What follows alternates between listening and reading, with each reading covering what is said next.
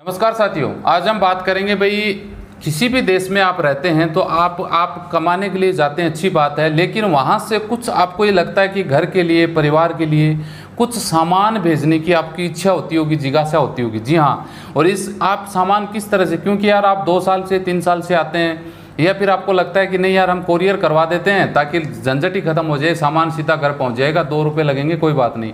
पहली बात तो सामान आप साथ में लेके आते हैं तो इतना सामान नहीं ला सकते एयरपोर्ट पर आपको टैक्स की बड़ी प्रॉब्लम होती है।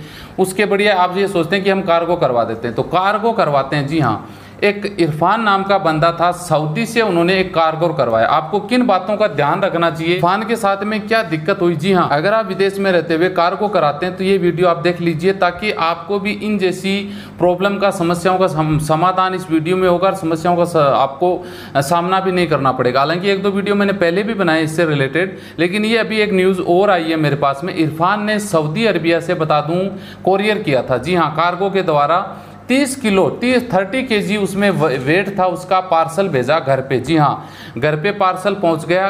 यानी घर का मतलब जहाँ बाई पोस्ट आता है, इंडियन पोस्ट से वहाँ से कॉल आया, जी, आपका पार्सल आया हुआ है, आप पार्सल लेके जाइए। तो जैसे ही वो बंदा, अब देखिए, इस बंदे ने हो सकता है वो, ये सऊदी से खुद भी आ गया, उससे बाद में कोरियर करवा दिया साथ में। तो कोरियर बाद में पहुँचा, घर वो पहले आ गया। जैसे ये बंदा कोरियर को लेने के लिए गया तो उसने देखा कि यार वज़न में कुछ फ़र्क लगा उसको।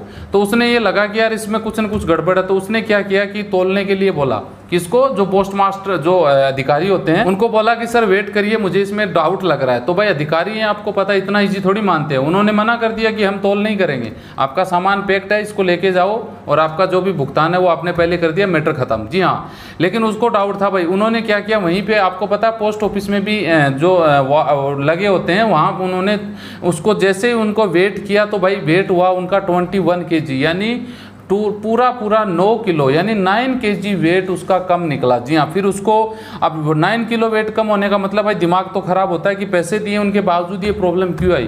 तो उन्होंने शिकायत करी कहाँ पे? अपने नियर में पुलिस स्टेशन में। पुलिस स्टेशन को फ़ोन करके बोल दिया कि ऐसे ऐसे मैंने सामान मंगवाया, इसमें सामान कम है वेट मेरा कम है, मेरे पास ये एविडेंस है। आ तो भाई पुलिस को आना पड़ा। पुलिस ने आके आया तो पुलिस के सामने उस सामान को खोला गया पुलिस के सामने।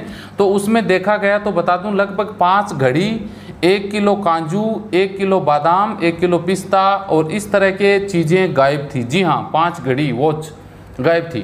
तो इरफान ने बताया कि मेरा इतना वज़न था, ये मेरे पास एविडेंस है तो भाई पुलिस भी क्या करेगी?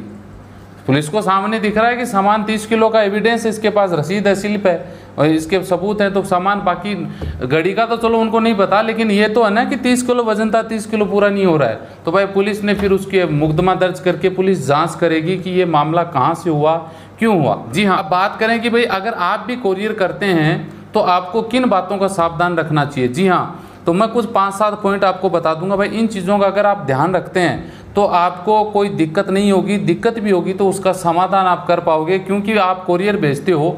ज़रूरी नहीं होता कि उसमें नॉर्मल सामान, उसमें महँगा सामान भी हो सकता है क्वालिटी वाला, जो पाँच सात लाख रुपए का माल हो सकता है, जो आपके साथ अगर चिटिंग हो जाए तो आपको दिक्कत होगी ना फिर?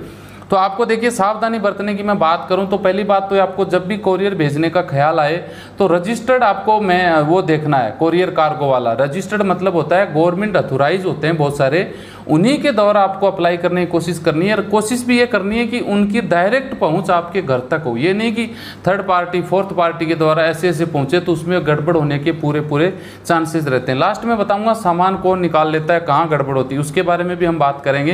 पहला बात ये हो गया। दूसरी बात, जैसे आप सामान लेके वहाँ पे जाते हैं कोरियर की ऑफ़िस में या कोरियर का डिलीवरी बॉय आपके घर पे आता है सामान को कार्गो को लेने के लिए तो उसका पूरा डिटेल बनाइए भाई। ये ये सामान है ये हमने आपको दिया है, पूरा स्लिप लेके उनकी मोहर लगवा के उनके साइन करवा लो, स्लिप में, कि ये सामान मैंने इस कोरियर में डाला है। दो पॉइंट नंबर हो गए, तीसरा नंबर आप वीडियो बना सकते हैं। जब आप सामान पैक कर रहे हो, क्योंकि सामान उनके सामने आप पैक करते हो तो उसका वीडियो बना सकते हैं कि ये देखिए जी, ये मोबाइल मैंने इसमें डाला, मैंने ये पेन इसमें डाला, मैंने ये इसमें डाला। इस तरह से आप ये सामान पूरा डाल के वीडियो में दिख जाएगा वीडियो आपके पास सेफ़ रहेगा। जी हाँ अगर आप चार नंबर पॉइंट की बात करें तो वहीं पे उनका वज़न कर लीजिए। वज़न करके उन्हीं के हाथों से स्लिप में लिखवा लीजिए कि ये मेरा इतना वज़न की स्लिप स्लिप आ गई आपके पास, सबूत है। सो पाँचों आपके पास ये कर सकते हैं कि जैसे ही कोरियर वहाँ से डालें तो वो बोल देंगे, भाई 10 से 15 दिन में इतने इतने टाइम में पहुँच जाएगा। तो आप उसका एक, उनका एक ऐप बने होते हैं मोबाइल पे। लोकेशन आजकल यार हम अमेजन से सामान मंगाते हैं, चालीस रुपये का, उसकी तो लोकेशन मिलती है हमें। चेक कर सकते हैं कि कहाँ पहुँचा है। बॉम्बे से निकल गया, आप जयपुर पहुँच गया, सीकर पहुँच गया, इस तरह से आप उसकी लोकेशन ट्रेस करते रहेंगे तो आपको सच्चाई का पता लगता रहेगा भाई, यहाँ यहाँ सामान अब तक पहुँच गया है, इतने टाइम में अपने घर पहुँच जाएगा। छः नंबर पे बात करें तो इंश्योरेंस होती है भाई, आपका सामान महँगा है तो हज़ार पाँच सौ रुपये लगते हैं, उसकी इंश्योरेंस करवा लीजिए, ताकि वो सामान कभी गुम भी हो जाए तो पूरी ज़िम्मेदारी इंश्योरेंस कंपनी की होती है इंश्योरेंस कंपनी को वो क्लेम आपके सामान का देना होगा। जी हाँ सात नंबर पॉइंट पे अगर आपको लगता है कि भाई सामान घर पहुँच गया और उसमें गड़बड़ हो रही है, जैसे भाई इरफान के साथ में हुआ तो आप शिकायत करें उनकी लिखित में, पुलिस स्टेशन में। जी हाँ कि मेरा इतना सामान, जितने भी आपके पास एविडेंस लगा के कि मेरा सामान कम है, मेरा सामान चोरी हो गया है तो पुलिस उसकी छानबीन करेगी और आपको 100 परसेंट पॉजिटिव आंसर इसका मिल जाएगा। जी हाँ अब मेरा जहाँ तक ओपिनियन है कि ये सामान निकालता कौन है? कम क्यों होता है? ऐसे तो नहीं होता कि आपने वहाँ से 50 किलो भेज दिया घर आते 40 किलो सामान घिस गया, रास्ते में घिसता तो नहीं है।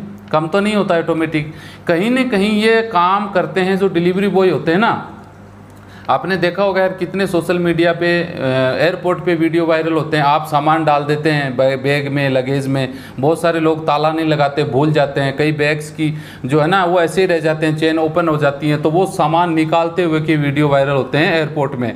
जो डिलीवरी बॉय होते हैं, जो अंदर सामान पटकने का काम करते हैं। समझ गए बात को? ये हंड्रेड परसेंट वहीं से शुरुआत होती है, जो डिलीवरी बॉय होते हैं। डिलीवरी बॉय कहीं से लेके कहीं तक भी हो सकते हैं। वो सामान बीच में निकाल के चार सौ करते हैं, जो अस्थायी नौकरी पे होते हैं। आज उन्होंने ज्वाइन किया महीने बाद छोड़ देना है। सामान वो उसका किसका चोरी हुआ, क्या हुआ, उनकी कोई रिस्पॉन्सिबिलिटी नहीं होती है। और वो इसी तरीके से सामान भी वो देख लेते हैं। कि ये पैक, पैकिंग का इंपॉर्टेंट भाग होता है। भाई, पैक अच्छी तरह से करोगे तो आसान नहीं है सामान निकालना। लेकिन पैक अगर नॉर्मल तरीके से रस्सियों से बाँध के कर दोगे पैक तो रस्सी तो खोली जा सकती है। खोल के सामान निकाल के वापस उसी तरीके से वापस बाँध देंगे तो आपको तो पता ही नहीं लगेगा। तो पैकिंग सबसे इंपॉर्टेंट है। पैकिंग इस तरह से करें कि माइका लाल कोई खोल नहीं सके। घर पर भी आप खोलो ना तो उसको काटना ही पड़े, खुलेगा नहीं वो। इस तरह से आपको पैकिंग करनी चाहिए। रस्सी आप ऊपर बाँध सकते हो सपोर्ट के लिए, लेकिन रस्सी तो खुल के वापस बन जाएगी। समझ रहे हो? तो उसको टेपिंग से या फिर ऐसी कोई टेप हो, बहुत सारी टेप ऐसी होती हैं जो विदेश में मिलती है इंडिया में नहीं मिलती हैं। बहुत सारी ऐसी चिपकाने के ऑप्शन होते हैं जो एक बार चिपक के उसको फाड़ सकते हैं, लेकिन वो चिप उतरेगा नहीं। वो दोबारा नहीं चिपकेगा। ऐसी बहुत सारे होते हैं जो रजिस्टर डाक आती है ना, वो चिपका के भेजते हैं, उसको फाड़ा ही जाता है, फिर दोबारा चिपकता नहीं है वो। खुल गया तो खुल गया। तो ऐसी चीज़ों का आप ध्यान रखें और ये 100 परसेंट डिलीवरी बॉय का काम होता है चोरी का भाई। तो आपको सावधानी रखने की ज़रूरत है। मैंने जो पॉइंट बताए, उन पर आप गौर कर लोगे तो आप कितना ही महँगा, कितना ही सामान कभी भी घर भेज दोगे, पहुँचने में लेट हो सकती है, लेकिन माइका लाल कोई खोल नहीं सकेगा आपका सामान। जी हाँ सामान कम नहीं होगा। आप, आपको टेंशन लेने की ज़रूरत नहीं है। बहुत सारे लोगों का सामान समय पर नहीं मिलता है या रास्ते में गुम हो जाता है। तो उनको ये रिस्पॉन्सिबिलिटी उनकी होती है भाई। इंश्योरेंस करवा के रखें ज़रूरी। और ये आप नोट करवा सकते हैं उनसे कि सामान घर पर नहीं पहुँचा, बीच में चोरी हो गया, ज़िम्मेदारी किसकी रहेगी?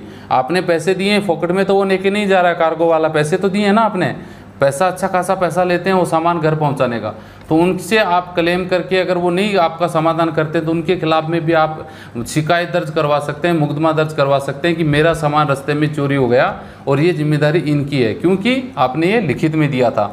तो ये सब बातें थी, आपको ध्यान रखने की ज़रूरत है। जब भी आप विदेश से सामान भेजें तो इन आठ दस बातों का आप ध्यान रखोगे तो आपको कहीं कोई प्रॉब्लम नहीं आने वाली है। मिलते हैं नेक्स्ट वीडियो में, जानकारी अच्छी लगे तो लाइक शेयर करिए। जय हिंद, जय